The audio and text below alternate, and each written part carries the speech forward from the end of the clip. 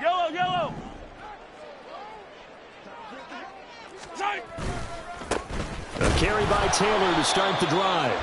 And he'll get this one up to about his 14. He'll wind up getting a yard on the game's first play.